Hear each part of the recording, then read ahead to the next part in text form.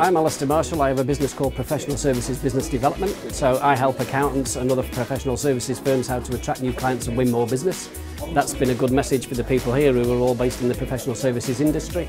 Um, it's not as easy as selling widgets. I have huge empathy with these people. You don't learn this stuff when you come out of university. You decide to make accountancy the profession that you go for. No one actually kind of sells it to you that you have to win new clients at that point. So that's what I've been upskilling guys with tonight is lots of new ideas and ways that you can win new work.